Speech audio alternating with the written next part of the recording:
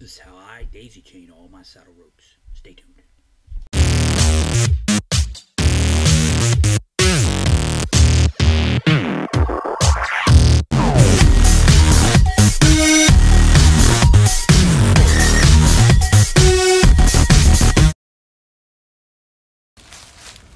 Ropes. 30 second daisy chain. Make a loop.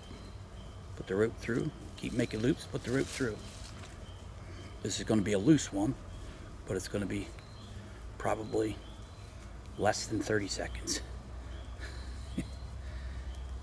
Just tighten them up, that's all. There it is. There's your daisy chain. So what I do, that last little loop,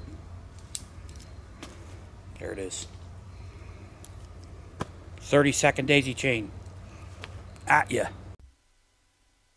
Well, 58 seconds. Sorry. Thanks for watching.